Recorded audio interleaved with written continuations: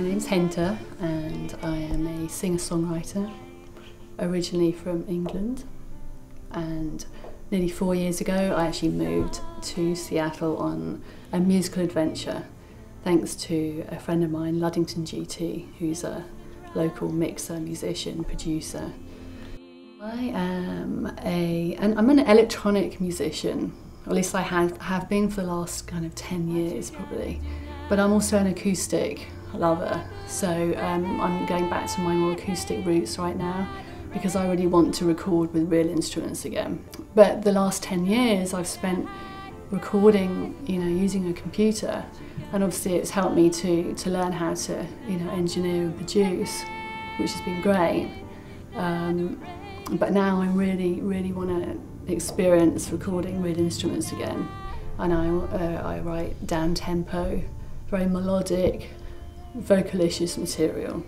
I started playing piano when I was about seven um, and you know, began to learn about um, theory and reading music. Um, but when I got to about 10, I started to diversify and I wanted to write my own songs for school and plays and things like that. And so I kind of stopped with the classical element of music and just progressed more onto, I suppose, what you'd call you know, mainstream pop type music um, when I was quite young. And then I, I joined a band when I was about 18, so that was more like a progressive rock band. and so I went through my rock period for about four years probably. Um, actually a bit longer than that. And um, so it wasn't until I got to late 20s that I started on my electronic music path. I decided to write a concept album about meditation and chakra activation because I'm not, I wouldn't classify myself as a new age artist, purely a new age artist, but this album took me into that, that realm, that arena.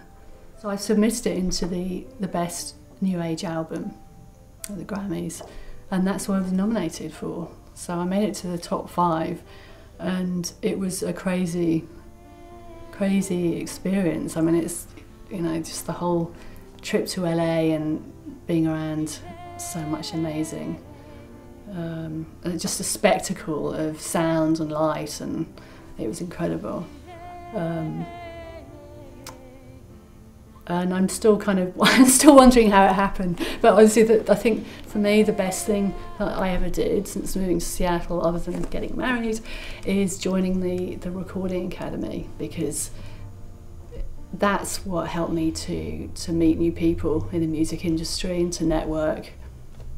And um, and that's how it all started really that's how I managed to to you know I submitted my material into the annual Grammys and was lucky enough to, to get nominated.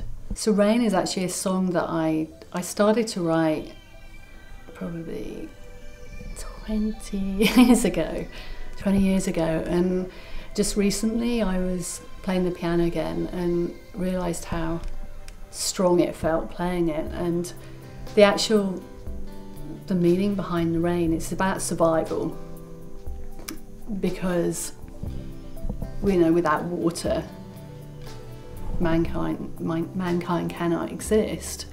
And because the earth is already challenged by global warming and planetary activity it's really down to us to you know to look after our earth. And I think a lot of that is to do with being part of a community, a supportive community, and it's about supporting your, your local farmers because it just feels like so much of the, the food supply is controlled by the large corporations and you know that takes away from your, your local community.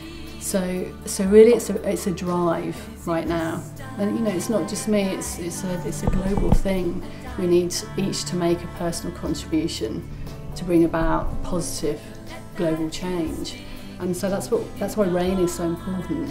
The more the more I've performed and the more my my music has changed, it's been less about about me.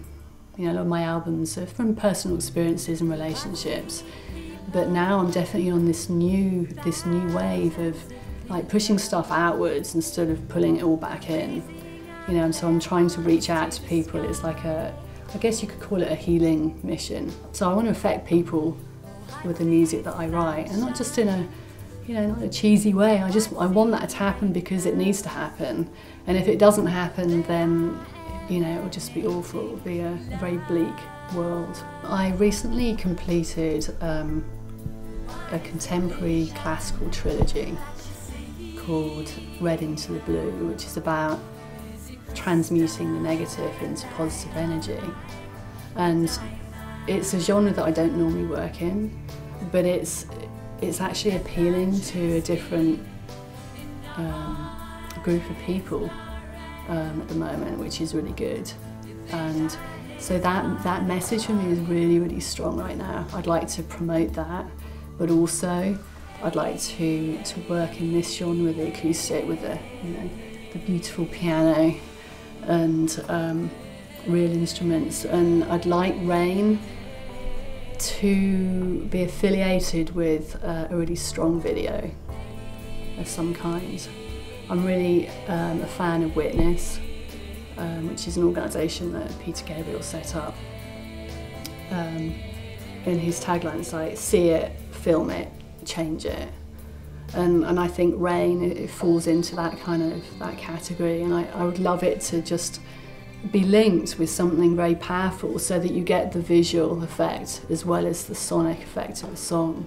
You know, so that's, that would be my dream to be um, affiliated with something like that. I mean, we're gonna, Marcel and I will continue to make videos ourselves, um, but we need, we need the strength of a, a greater power, if you like, to spread the message.